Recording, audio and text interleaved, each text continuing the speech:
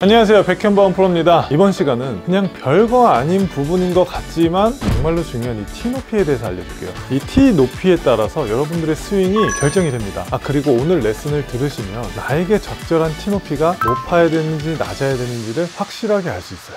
인아웃이 심한 분들은 이런 낮은 티는 공이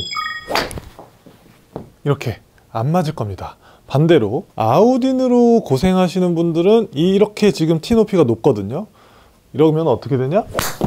뽕샷이 나는 거죠. 하이볼이 나는 거죠. 찍혀 맞으니까 자꾸 티를 또 낮추게 됩니다. 그래서 만약에 나는 티 높이가 좀 낮은 세팅이 편하다 하시는 분들은 아마 약간은 좀 바깥쪽에서 오는 이미지가 강할 거예요. 그런 분들은 백스윙 와서 체중을 누르는 것보다는 왼쪽으로 먼저 회전하려고 하는 느낌이 강할 거예요. 그렇게 하면서 똑바로 가는 건 괜찮지만 슬라이스가 난다면 이제는 중단하셔야 됩니다. 그리고 반대로 인에서 오시는 분들은 티를 계속 높이실 겁니다. 그런데도 똑바로 가면 괜찮지만 훅으로 고생을 한다면 이제는 그만하셔야 돼요. 티 높이를 적절하게 찾으셔야 된다는 겁니다. 그런데 예외는 있어요. 티를 낮게 쳐야 되는 골퍼는 또 헤드 스피드가 빠르다면 좀 낮게 쳐야 돼요. 그리고 헤드 스피드가 느리거나 비거리가 안 나오시는 분들은 티를 좀 높여서 쳐주셔야 됩니다. 그 두 가지는 좀 예외로 빼고 슬라이스나 훅으로 고민하시는 분들은 이 티 높이를 적정하게 찾아야 된다.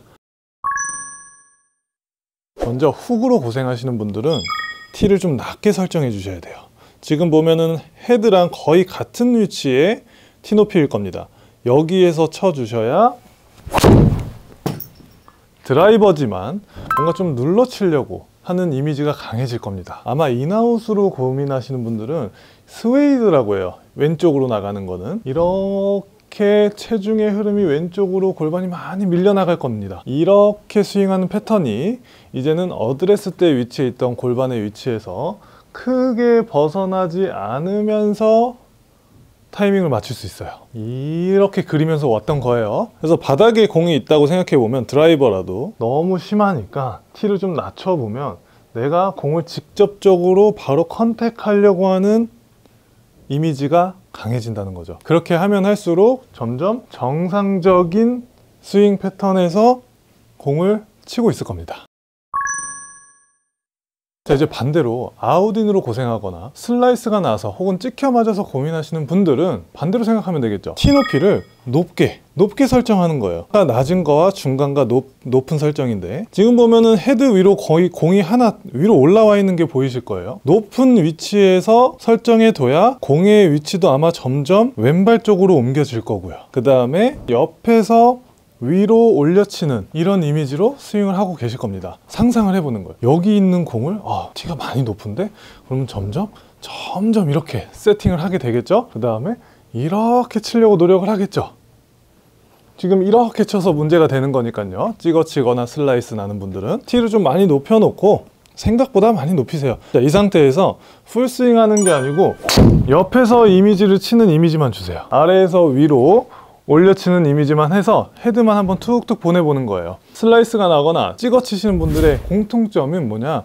릴리스 동작이 굉장히 늦게 나옵니다. 끌고 가서 왼손이 계속 위에 있는 상태에서 느지막히 돼요. 공통적인 부분이에요. 티가 높아져 있는 상태에서 내가 이런 이미지로 계속 치려고 하다 보면은 내 몸은 계속 상체는 뒤에 있고 헤드를 자꾸 던질 수 있게 돼요. 그러니까 늘 프로님들이 얘기하는 헤드 던져라 뭐 나는 헤드를 던지는데 왜 못 던질까 이게 고민이 한 번에 싹 사라지는 거죠. 자 다시 한 번 더. 티높이가 지금 상당히 높은 상태예요. 헤드 위로 공 하나가 더 올라온 상태라서 저도 공을 좀 왼쪽에 놔야만 이 공을 올라가면서 칠 것 같은 느낌이 듭니다. 그리고 이 공은 이렇게 앞으로 와서 쳤다가는 다 찍혀 맞을 것 같으니까 저는 더 뭔가 setup 때부터 기울기가 더 들어와지고 이런 옆에서 던져주는 이미지가 지금 강해지고 있어요.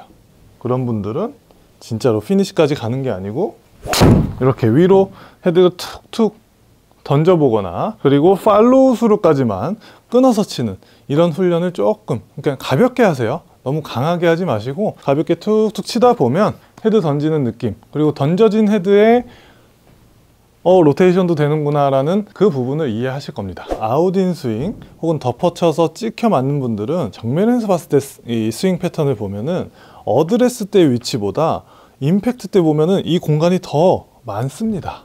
체중이 오른쪽으로 오죠. 이렇게 치는 거예요.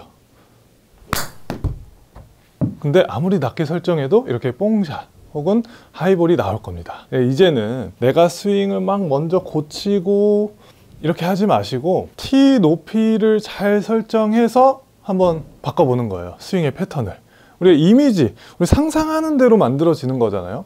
상상하는 거예요. 티 높이를 높게 설정하면 아 공의 위치도 점점 왼쪽에 놔야 될 것 같고 어, 뭔가 좀 더 기울기가 들어와야 될 것 같은 느낌. 왜냐? 아래에서 위로 쳐주는 이미지가 강해야 되니까.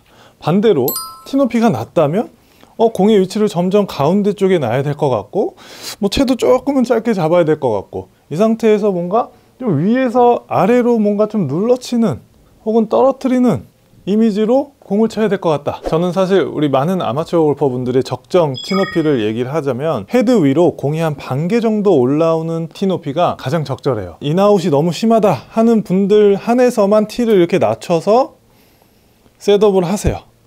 그러면 위에서 뭔가 바로 직접적으로 타격하는 느낌을 주면서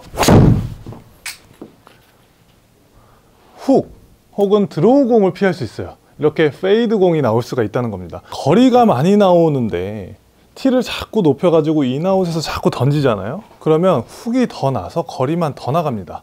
그러면 캐리 거리가 나가면 좋은데 캐리 거리는 오히려 줄고 런이 많아지겠죠. 그래서 오늘 제가 여러분들께 말씀드리고 싶은 건 out-in이니까 뭐 밖에서 쳐라 in-out이니까 안에서 쳐라가 아니고 티 높이를 먼저 한번 체크해 보세요. 그런 다음에 내 스윙에 맞춰서 적절한 티 높이로 상상을 하고 그대로